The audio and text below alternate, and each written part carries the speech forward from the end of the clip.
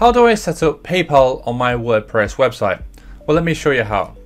The first thing you're going to need is a PayPal account. So simply set up a new PayPal account at paypal.com if you don't have one, or if you do have one, take note of your PayPal email address. So to set up a new account, we go to paypal.com, we click sign up, we choose a personal or a business account depending on the products and services we're selling, and it'll ask you to enter an email address. Now this is the most important element. The email identifies your account and allows people to pay you.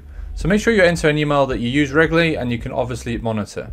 So go ahead, create a new PayPal account and use the email address here in the admin area of your WordPress website. So in front of me, we have the auction theme. This is uh, one of our premium WordPress themes. The setup is the same for all of our PremiumPress themes. We go to the admin, we click on PremiumPress, click on checkout, and we click on payment gateways. Now PayPal is installed by default with all of our premium WordPress themes, so you don't have to worry about setting up any other plugins or add-ons. Simply click on PayPal and enter your email address where it says PayPal email address.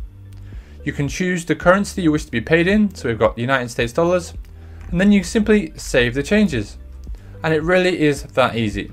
Now if I go to my website and I try to purchase, say for example, a membership,